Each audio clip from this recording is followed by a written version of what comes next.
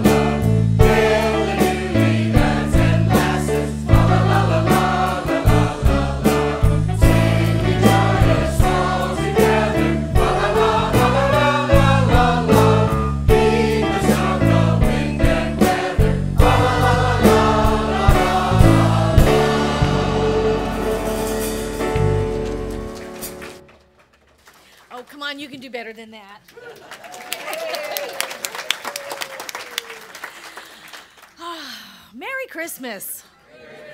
It's good to see you this evening. I'm glad you're here. What a wonderful evening for celebration. Everything done? Everything's wrapped and under the tree? Oh, come on. I know I know that you're all so prepared for this evening and and I'm so glad that you're here. This is Vision's Christmas gift to you, our congregation and visitors and guests. So um, sit back, enjoy the evening. Just know that it is it is our gift to you. Um, the songs, the stories, the words, the prayers. Thank you for joining together in all of the celebration. Thank you for being here week in and week out, all year long. Thank you for being with us and supporting Vision. Yeah, and thank you, choir. Aren't they amazing? Oh my. So sit back, relax, join the chorus, and, and celebrate with us. Merry Christmas.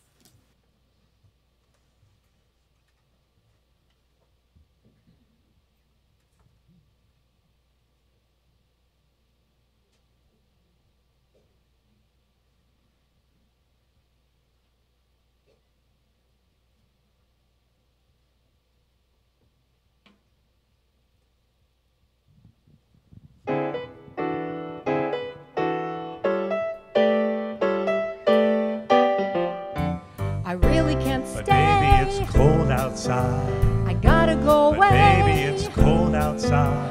This evening has Been been, hoping that you'd drop so in. very nice. I'll hold your hands, they're cold as My mother will start to worry. Beautiful, what's your My father hurry? will be pacing the Listen to the floor. fireplace so really, roar. I better scurry. Beautiful, please don't well, maybe hurry. just a half a drink Put more. some music on while I The neighbors might Baby, think, it's bad out what's in this no drink? cabs to be had out there. I wish I knew Your how eyes are like to break now. this spell. I'll take your hat. Your hair looks I swell. ought to say no, no, no, Mind sir. At least I'm gonna say that I tried. What's the sense of my I really pride? can't stay. Baby, don't hold out. Maybe, Baby, it's cold outside.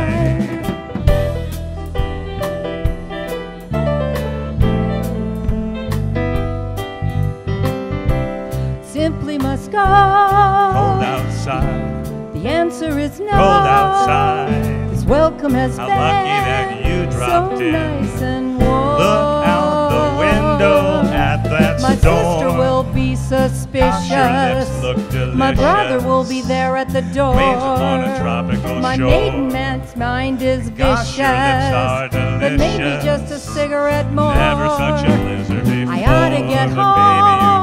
Baby, you freeze out there. Say, lend me a coat. It's up to your knees out there. You've really been I thrill when you touch but my don't you see? How do you do this thing to There's me? bound to be talk tomorrow. At least there will be plenty implied. I really died. can't stay. hold out. Baby, it's cold. Baby, it's cold outside.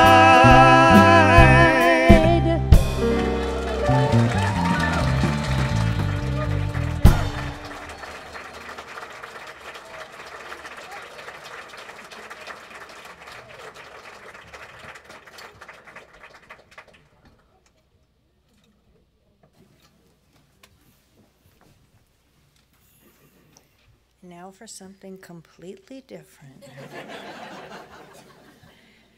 so, our founder, Dr. Holmes, had a radio program, and this reading is from the Christmas Sunday in 1949. Let us take our thought for today. Glory to God in the highest, and peace on earth, goodwill toward men. Prayer and meditation are for the purpose of consciously entering into communion with the Spirit of all life, with a power and a presence that fill all space, that flows through everything, and is at the very center of our own being. Prayer and meditation connect our thought and mind with the giver of all good, with the essence of all life with the power that can do anything, and with that love and peace which we know God must be. Let us then shut every other thought out of the mind for a few moments as we listen quietly, reverently, peacefully, and with complete acceptance. Glory to God in the highest, and peace on earth and goodwill toward men. We too glorify the divine presence. We are lifting up both mind and heart to the influx of the divine spirit. As we do this, peace and good flows through us and out to all men. It is our sincere desire that the heavenly light shall guide us, as it did the wise men of old, to the place where the heavenly child is to be born in us today. Reverently, we bow before this divine incarnation. Silently, we offer our gifts of love and admiration to the presence within and around us, to our dear ones and friends, and to the whole world. May the angels of the Lord proclaim anew to us the good tidings of great joy.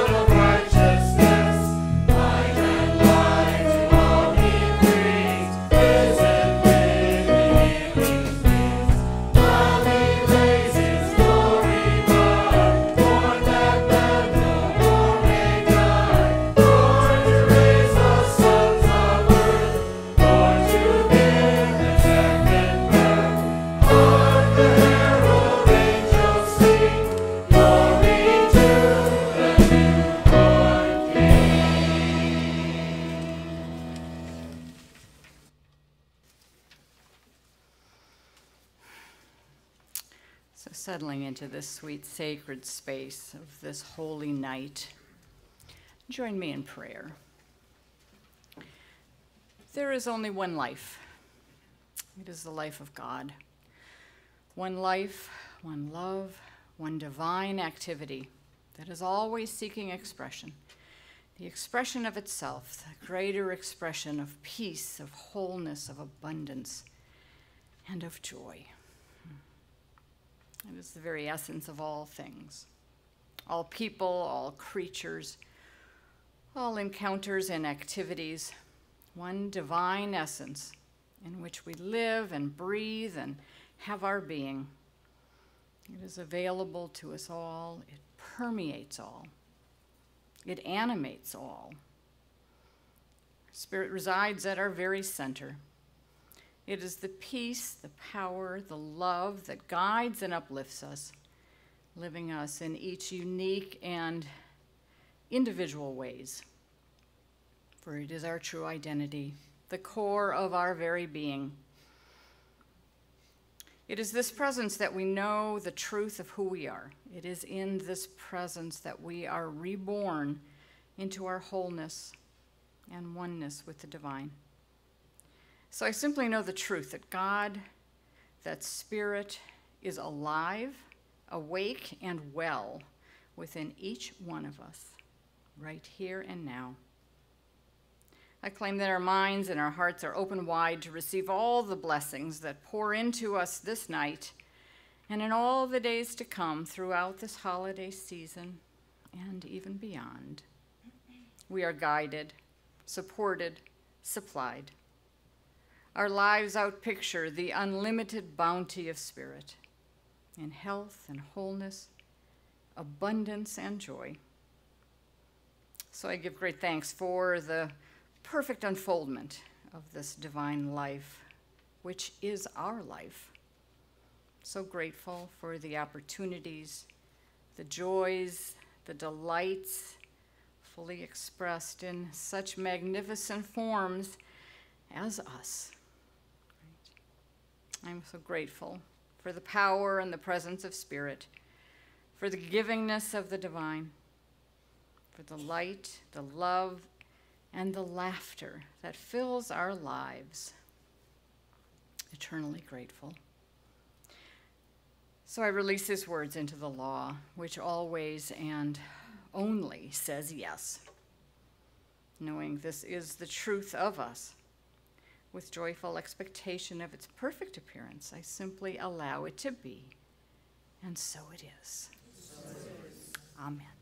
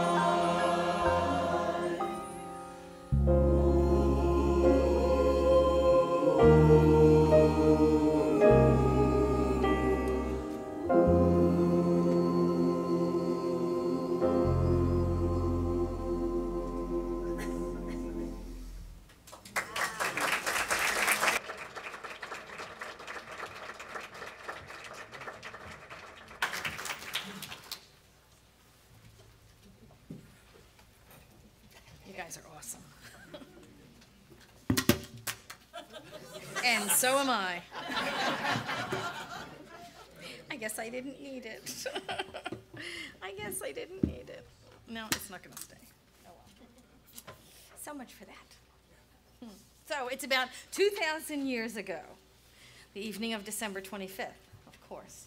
Mary and Joseph arrive in Bethlehem. Joe is leading the way. Mary's riding on the donkey, right? She's huge with child, urgently needing to deliver the baby. She's in labor already, maybe, we don't know. Although it's an emergency, all the innkeepers turn them away.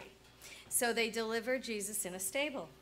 And then the angels sing to the shepherds, and they're gathered in the fields. And afterward, they're joined by three kings who come riding in on camels, excuse me, worshiping the quiet newborn. Sound familiar?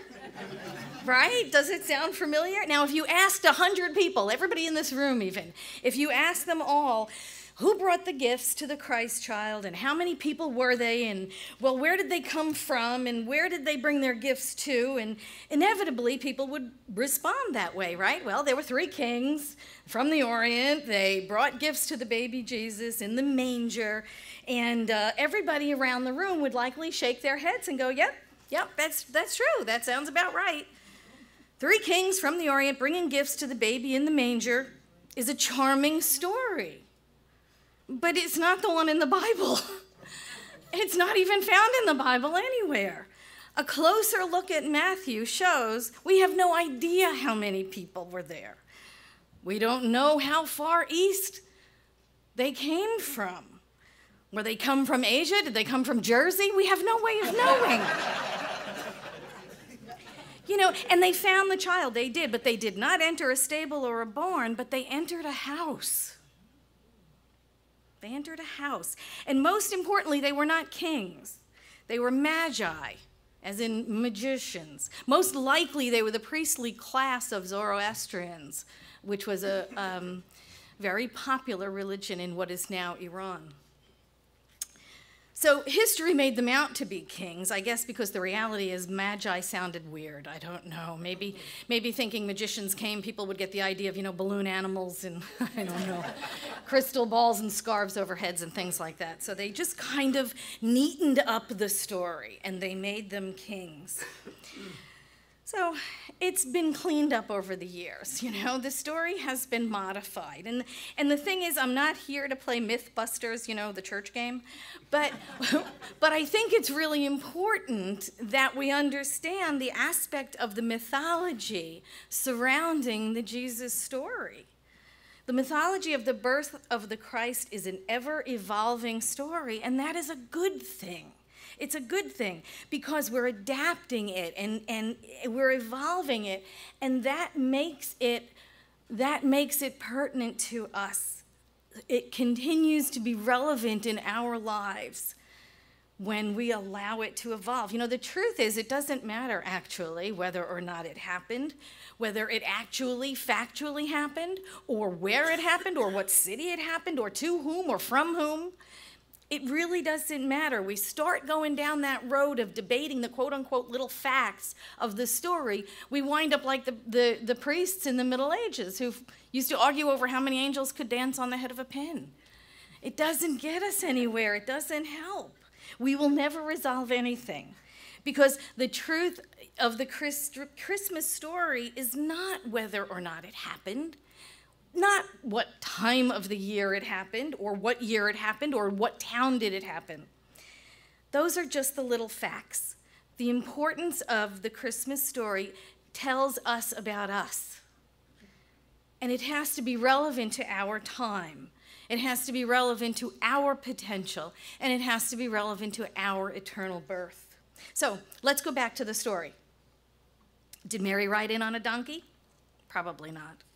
But, you know, there's no way of knowing because it wasn't written down. It only said that she arrived into town with Joe.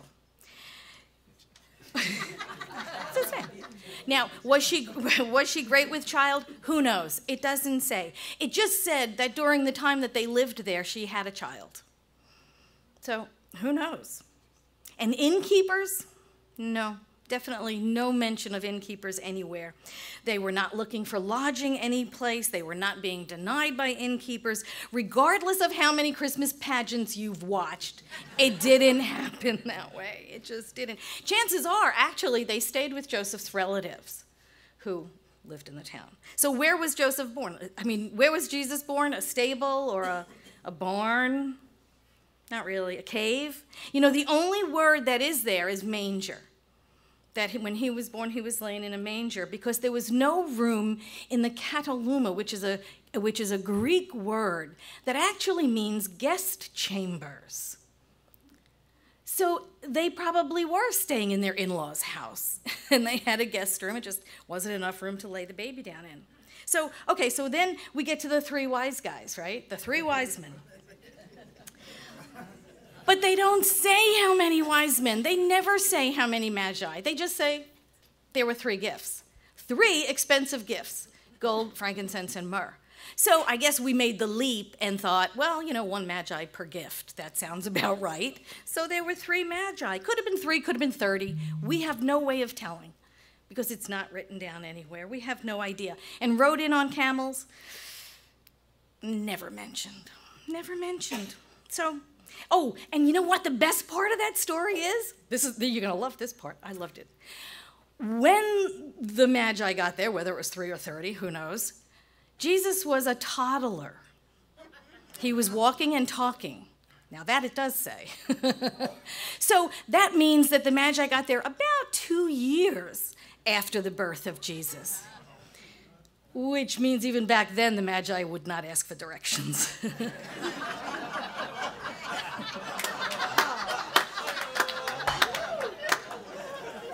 I'm not even going to get into the whole being born on December 25th thing because that is in itself part of the mythology. Back in those days, anytime they wanted to talk about a deity being born, in order to make it very dramatic, it would be born on December 25th and it would be born of a virgin. And there were a handful of quote unquote deities that were born that predated Jesus by hundreds and hundreds of years. And they all carried that same story about being born on December 25th and being born of a virgin um, Dionysus and Zoroaster and Heracles and Romulus and Odysseus, Attis, Horus. There's just a slew of them, and they all come from that same birth mythology. It was a very popular way at the time to describe a deity's birth. So, what I want to get to is that the important part of the life of Jesus, the important part of the story, I think, is the idea that we have these writings around his birth, and sporadically we have stories about him up until about the age of 12, and then nothing. Then there's absolutely nothing until he begins his ministry at age 30. He ministers for people he ministers to people for 3 years. 3 years, that was the length of his ministry. He had a 3-year ministry and we're still talking about it 2,000 years later. I mean, think about that. That to me is the amazing part. That's the amazing part. That's what I find so interesting about the Jesus mythology. How amazing is that? Who do you think we could possibly be talking about 2,000 years from now? Who can we be talking about? Gandhi? You know, will Gandhi be it? Mother Teresa? Oprah? The mythology of the life and teachings of Jesus are amazing. The reason they inspire and continue to inspire is because they speak to us over the ages. They speak to us. They are just as relevant now as when he spoke them during his ministry, when his teaching was fresh and new. The ministry was about love and forgiveness. That's what it was. He spoke to love and forgiveness for three years. The teaching was finding the Christ in all of us. That's what he talked about. That's what his teaching was. And that's why in the Bible, in John 14 12, it says, Very truly, I tell you, whoever believes in me will do these works I have been doing, and they will do greater things than these. He was teaching us how to live our life. He was, his ministry was telling us how to be. The ministry of Jesus was all about love, forgive, and do good work. That's what it was. It was that simple. love, forgive, and do good work. The ministry is vitally, vitally relevant in today's world. The idea that the light shines in the darkest times the eternal light of love and forgiveness and good work is relevant now. It is, is as relevant now as it was in, in the ancient world. The idea of that message is timeless, and it's always now. It is always now, whether it, whether it was in the first century or the 12th century or the 21st century. It is always now, and it's always relevant. So, at every age, we must recognize the light within us. We must not wait for some idea of someone riding in and saving us, for someone riding in on a white horse that's going to be the answer for us. We have to be the light. The mythology of the Jesus story is our own story. It is the story of the eternal light of spirit burning brightly within each one of us. We are the ones that we have been waiting for. We are the eyes and the ears and the hands and the feet of Spirit. We are the way that Spirit operates in the world. We are the place where the divine shows up in the physical world. And Meister Eckhart said this He said, We are celebrating the feast of the eternal birth, which God the Father has borne and never ceases to bear for all eternity. But if it takes place, but if it takes not place in me, what avails it? Everything lies in this that it should take place in me. So when we look at the Jesus story in those terms, that it takes place in us, what do we find? What do we find? Joseph and Mary represent wisdom and love. The angels are spirit within us and all around us, guiding us and giving us intuition and giving us the good news and revealing it forever and ever. We recognize the shepherds as our own human nature. The divine star in the sky is the star of intuition, and it guides those shepherds, our human nature, urging us to meet the Christ in our own life, our highest nature our own highest nature. The wise men in the East within us is that inner wisdom that we have. The wise men within us recognize the light of the coming Christ, the birth of our own highest nature. We accept the gifts of the wise men gold to represent prosperity, frankincense to represent beauty, myrrh to represent eternity. And we accept these gifts that come with the birth of the Christ consciousness within us. The Bethlehem place in our consciousness is the place where we are ready to give birth to that highest and best part of ourselves. And today, if there's no room at the inn, it simply means we have not reached that ideal state in consciousness that we desire. But it doesn't matter because we're still ready to bear the Christ nature in a manger, in an ordinary place, in our everyday lives. We can give birth to that highest ideal of who we are. Right where we are right now. Spirit within us reigns supreme. Spirit within us is the truth of who we are. And it takes place on the throne of our being. It is the awakening of the Spirit within us. That's what we are celebrating today the coming of the light and the awakening of the divine consciousness within us, within each one of us. We are made new. Each and every one of us are made new we recognize our wholeness. We are free. We are complete. Now and forevermore. And so it is.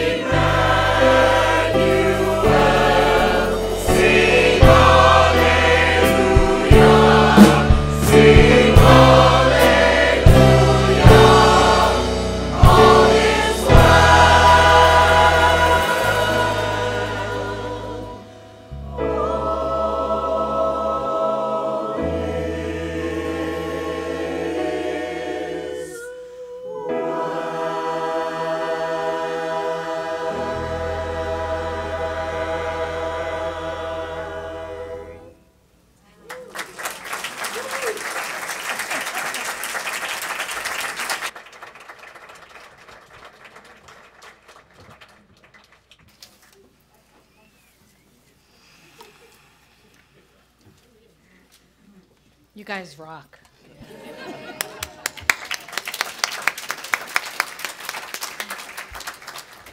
And now is our time for conscious giving. I would invite you to support Vision with your gifts, with your consciousness, with your tithes and, and uh, energy in the form of money. It is a way to just put your faith out there and, and support those people, places, and things that do spirit the way you would see it done. And we,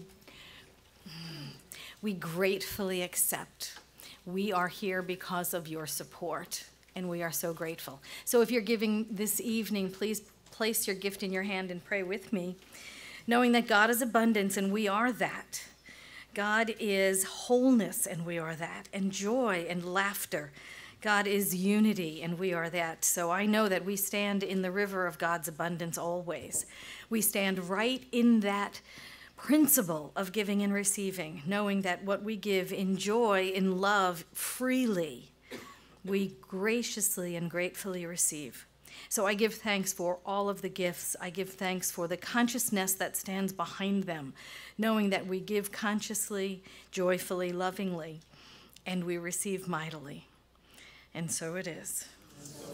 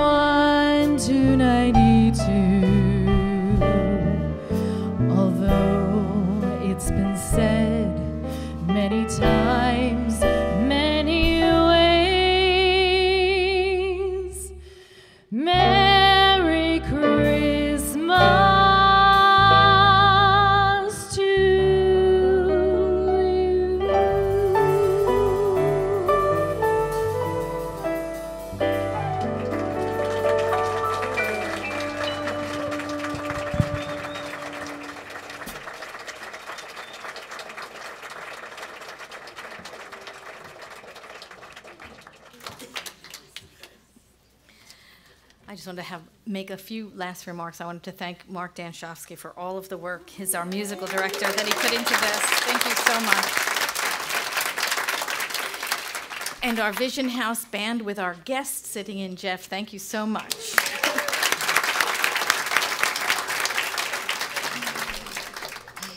We couldn't do it without James Vandenberg, our choir director.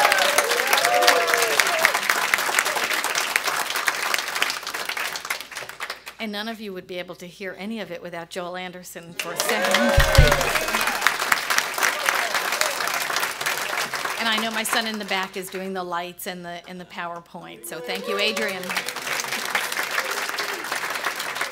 I would love for you all to stay for a few minutes afterward. We have Christmas cookies and cider and tea, and stay and chat for a few minutes. If you have um, donated money to make our, our platform just look so beautiful by, by buying a poinsettia, please take it with you tonight. yes. It wouldn't be the same without you. Oh, you are so sweet. Don't forget to take your poinsettia home with you so that it can it can beautify your house too.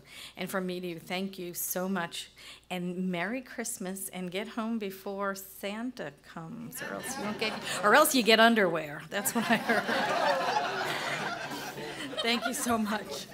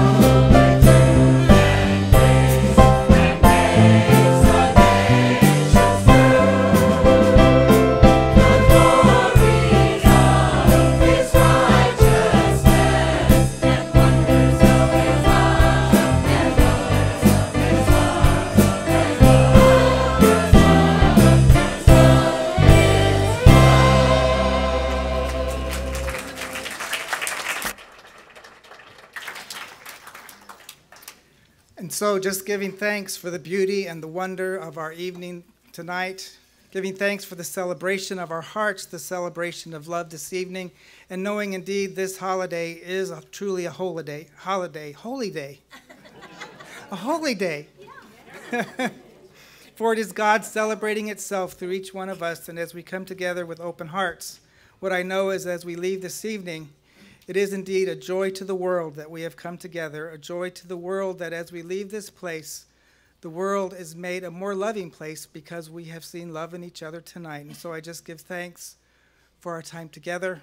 I give thanks for each one here. And I know as we leave this place, we leave safely and fully and freely, giving God a life into the world. And so it is.